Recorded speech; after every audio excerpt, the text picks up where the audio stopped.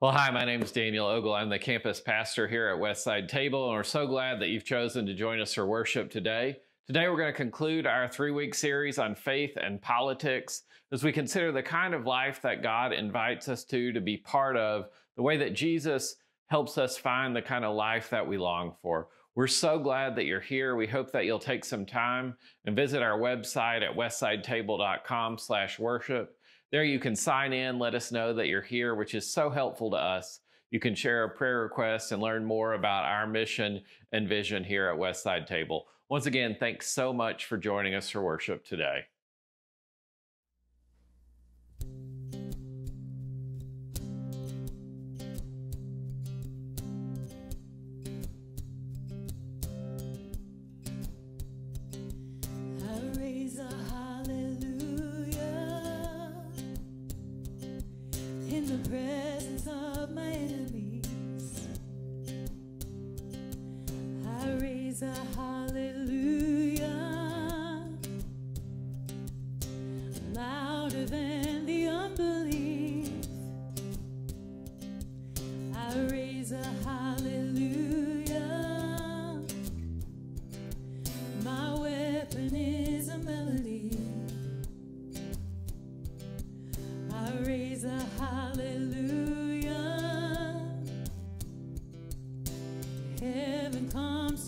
From the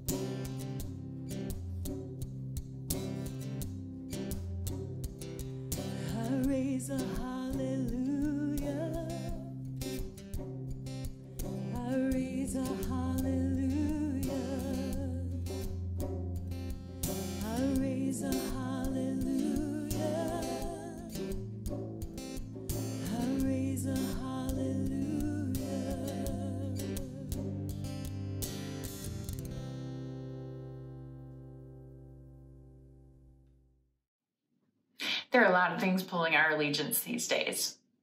But we know as believers, if we're trying to to pursue the life of Christ and and let that be um, the way that we build our life, those other things are not as satisfying. It's our prayer and our reminder during this worship time that we want to live for Jesus, that we want to build our life on the foundation of love that, that Christ has given us. We want to put our trust in God because then we will not ever be shaken. Jesus, we live for you.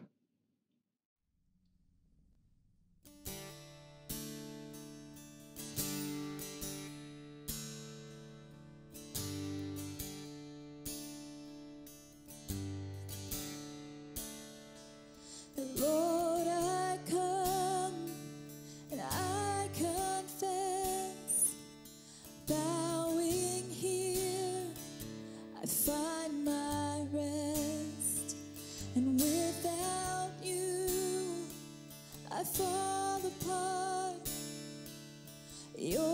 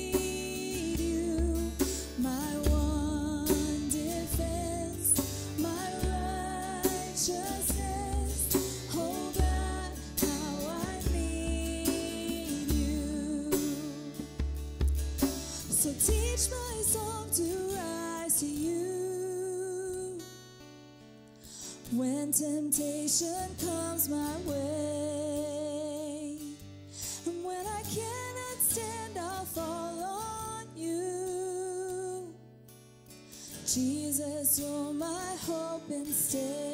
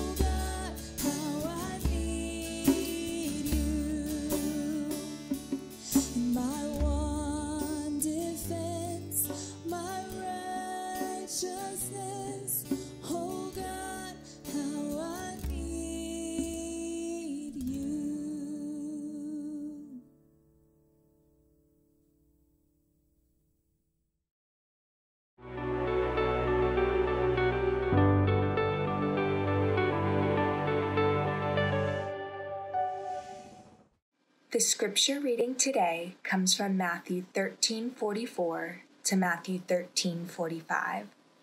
The kingdom of heaven is like a treasure that a man discovered hidden in a field. In his excitement, he hid it again and sold everything he owned to get enough money to buy the field. Again, the kingdom of heaven is like a merchant on the lookout for a choice pearl.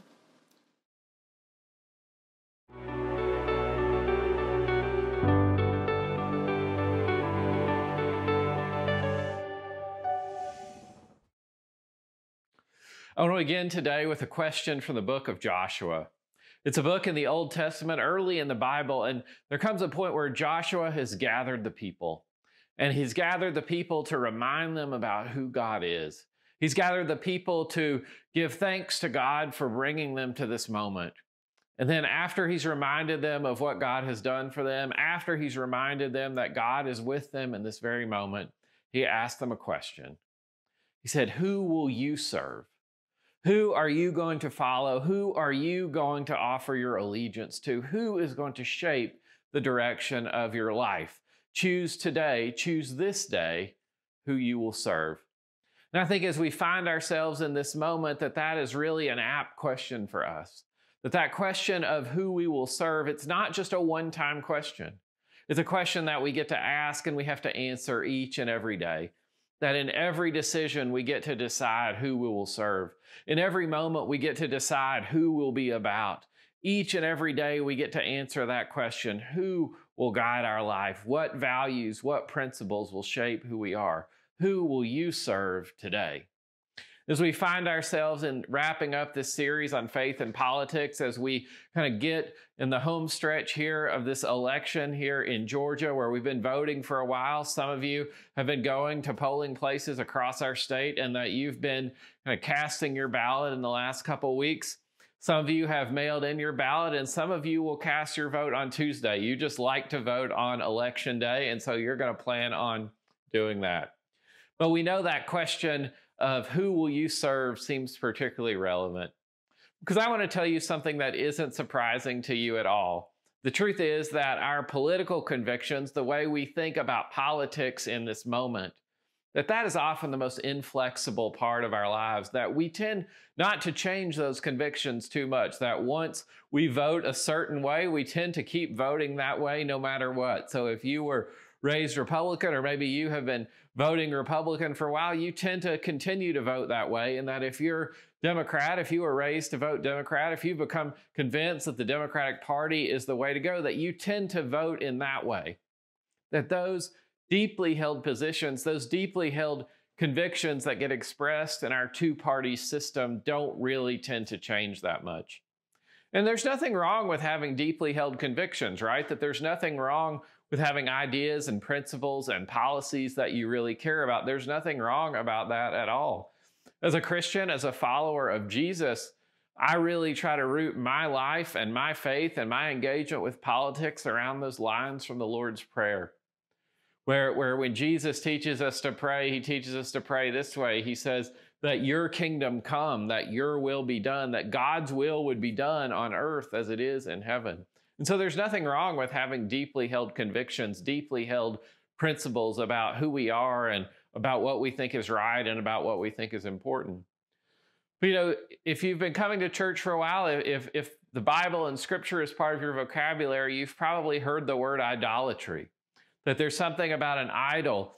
And we tend to think about idols as, as something that are so large and so big in our life. But what's more often the case is that idols are when something good replaces something that should be ultimate. That when we trade our devotion to God and we give that devotion and we give that allegiance to something else. And I think as we look at this moment we find ourselves in, if we look at the political moment and season we find ourselves, we know that one of our great temptations is to make politics, and particularly our allegiance to one party or the other, an idol in our life. And so that's why it's really important to turn to the scriptures again. And I love this passage that Hannah read for us from the Gospel of Matthew. It's a short passage, just two or three verses, but it contains two stories. But it really gets back to that question of choose today what you're going to be about. Choose today who you're going to serve. Choose today what values and what principles and who gets your allegiance because it's an important choice. It may be the most important choice that you ever make. And so Jesus is talking in the Gospel of Matthew, kind of midway through the Gospel, and he's teaching his disciples, and he tells two stories back to back. And they've got some differences, but really they're, they're, they're kind of making the same point in two different ways. He says, There was a guy who stumbled and he discovered that there was a field.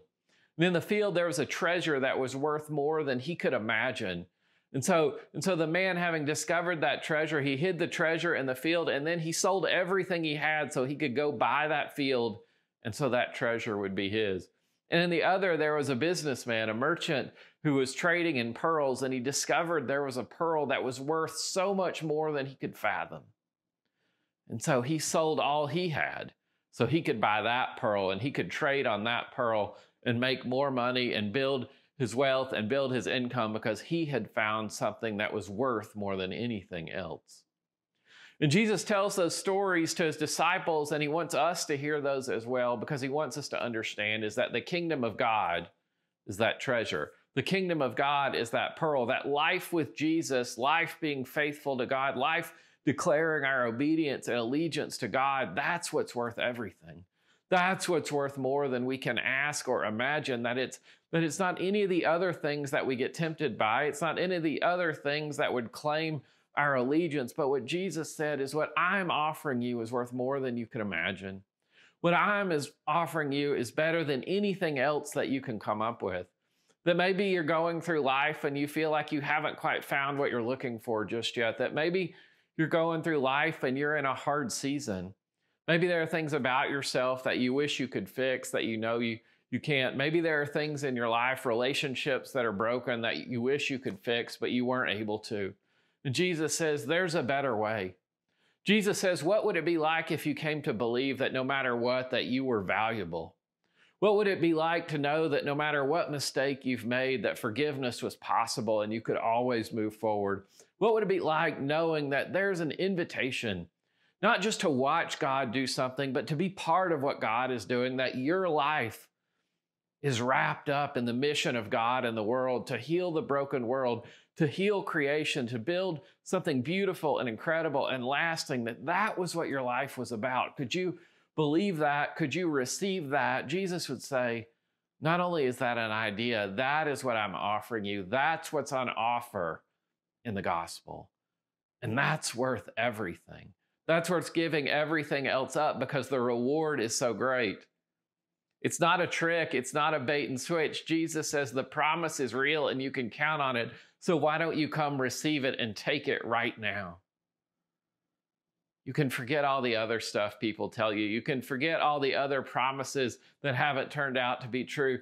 Jesus says, I'm giving you the word of God, and you can trust and you can count on and you can believe and depend on these promises. And so that is worth everything. That's what Jesus is offering. That's the invitation for you and for me right now. Wouldn't that be worth grasping? Wouldn't that be worth risking? Wouldn't that be worth knowing that people think that that you might have lost your mind? Wouldn't that be worth taking that risk if you knew that was true? Over the last couple weeks, we've been talking about this vision in the gospel that really flows from the great commandment to love God with everything we have and to love our neighbor as ourselves. And what the New, New Testament is convinced of, what the New Testament is trying to convince us of, is that that is the path to the good life. That is the invitation that God gives us. That is what we can receive, and that is what is on offer, and that's what a good life looks like. Not a life that's all about ourselves and our own interests, not a life that even is about our politics and our political parties' preferred outcomes. That it's not about kind of a long sustaining majority, but it's about a way of life with God. You know, sometimes I know that sounds crazy when you look out at the world that we live in. That the world that kind of feels like it's on fire each and every day, sometimes to love your neighbor, the command that's saying, love your neighbor, that that would make a difference. That just feels like you're just putting your head in the sand. I know how that sounds. And when we look out in the world that cries for big structural change, and to say that to love our neighbor as ourselves, to try to make our neighborhood a little different, to try to offer kindness and compassion and mercy and love and justice in the small ways that most of us have influence. That feels like that doesn't go very far. And I, I know sometimes you may even be listening to this right now. You might be skeptical of what I'm saying. And I totally hear that. I totally hear what you're saying. But I want you to know that when you read the scripture, when we read the Bible, if we as we believe that's true, as we come to read those stories and they become our story, what we realize is that the Bible is filled with stories of God taking small, seemingly insignificant things and magnifying them and enlarging them and doing incredible things with them. One of the most well known stories in all of the Bible is Jesus feeding 5,000 men and, and then add on women and children to that with just a few loaves and some fishes. That God has the power to magnify what you do and the gifts that you offer to make a real difference in the world, even if it seems crazy, even if it doesn't seem practical, even if it doesn't seem to make sense. That's the promise of the gospel. That's the offer. That's what we believe that God can do incredible things and can maximize even things that feel small and insignificant to us. You know, my friend Heather, she was invested in politics early in her life and kind of continued to be interested in politics. And in 2016, like a lot of folks, she was heartbroken about the presidential election. She was so upset. She kind of stared at her television and didn't understand what was going on. She couldn't fathom how why it had gone the way that it gone. And so, like so many, she kind of stayed up late and she was trying to figure out what it would mean for her. She was trying to figure out how she could respond. Would she sulk in disappointment or could she see another way? And so, what Heather did is she did something that maybe wouldn't seem significant to a lot of people, but she made a decision. She said, I'm going to get more involved in my neighborhood. I'm going to come to understand who my neighbors are. I'm going to come to understand the local issues that make a difference.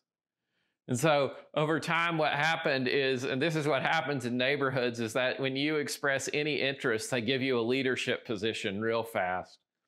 So before long, Heather found herself in a leadership position, having real power and agency and ability to kind of move things in her neighborhood or neighborhood association. And what happened is she became to understand and came to learn more about what was going on in her, the lives of her friends and neighbors and her streets. She began to understand some of the big structural issues that happened down at City Hall and how those affected people that she cared about. She got to get on a first name basis with city councilmen and, and commissioners, and she came to understand and know who the players were and how things could change.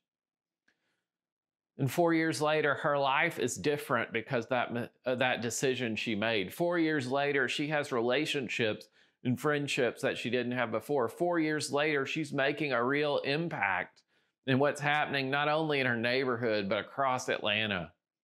Because she decided to get involved. She decided to understand that making relationships with people who lived near her and understanding the business community and understanding the, the justice issues in her neighborhood could help her make a big difference.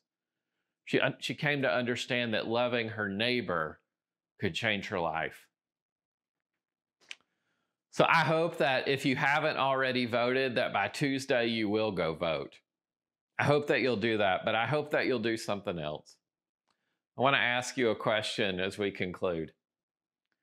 What's your life going to look like after Election Day?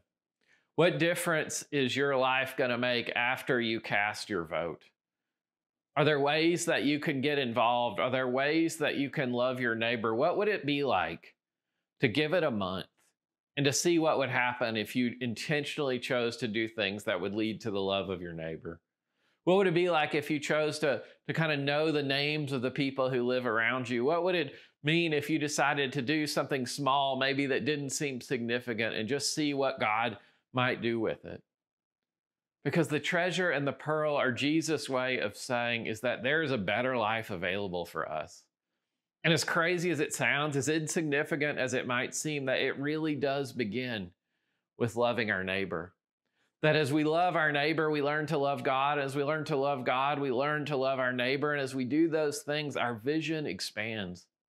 We get to see a different kind of life. We get to imagine a life that's bigger than what we thought was possible. We begin to understand and make relationships and connect with people in our life begins to take on more of a character, a more distinct character, a more Christian character. That we get to play our part in what God is doing in the world, that that's the invitation for us. That's the call of the gospel on our lives, and that is what is on offer for us. And I want to leave you with this challenge give it a month and see what God might do in your life, see what God might do in your neighborhood through you, and see what God might do in this city through you and your neighbors. Don't be a jerk. Love your neighbor. Get involved. Choose that which will lead to life and see what happens for you and your family and your neighborhood and the city and the kingdom that God is building. Amen. And now, in this time of the service, I invite you to lift up any prayer requests or praises in the comments below, or feel free to send us a private message. We would love to continue praying for you. And now, let us pray.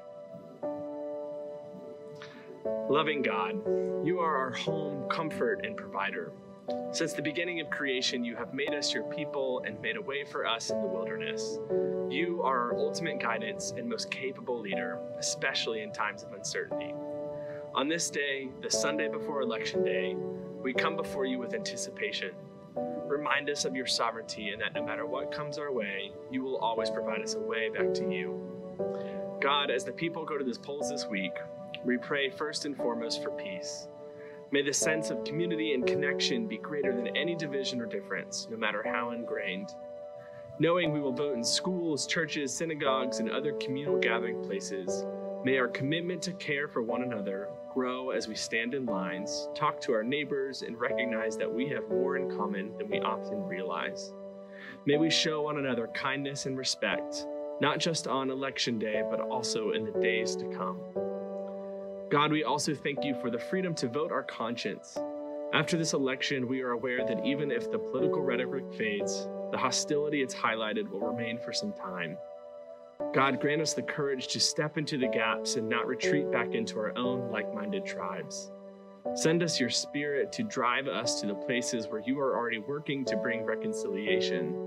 And remind us relentlessly that you are greater than every category we devise more powerful than any schism we've created, and always calling forth justice, peace, and abundant life. God, show us today and every day how to live in the love of Jesus Christ, the perfect love that casts out all fear. We pray all these things in your Son's holy and precious name. Amen. And now we come to the time in this morning's worship service where we invite you to give.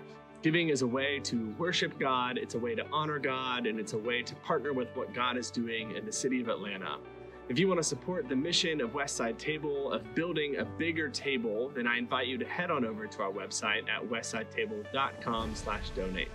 Any gift given will help us grow our own community as well as partner with those doing good in Atlanta.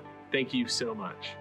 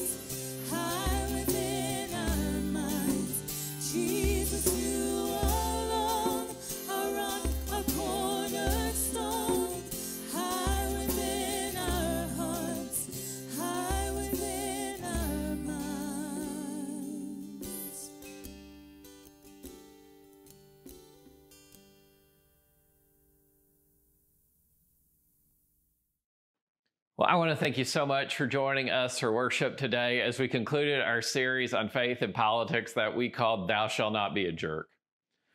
But I hope that you'll receive this invitation as you go. I hope that you'll receive the invitation that God wants you to be part of what God is doing in the world, that your life counts, that your life matters, that you can make a difference. And it doesn't have to be big, it doesn't have to be huge. It starts with loving your neighbor and loving your neighborhood. And God can do great things through things that seem small and insignificant. So I hope you'll go and I hope you'll receive these words. Don't be a jerk. Love your neighbor. Receive the life you want and receive the life that you were made for. Take care.